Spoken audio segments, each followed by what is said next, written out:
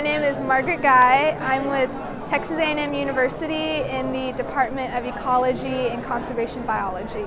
We've gathered literature from 1956 to 2020 to see the impacts of light pollution on sea turtles. Um, and what we've found um, doing all that is that handheld lights have not been studied much. So we are suggesting that that's an area in need of future study since light pollution has been found um, to be detrimental to sea turtle conservation. Texas Sea Grant is what is financing part of um, me being able to go to um, do the research. Um, I'm going to the U.S. Virgin Islands um, and I'm going to be conducting research there on the turtles and so without Texas Sea Grant I wouldn't be able to financially afford doing that.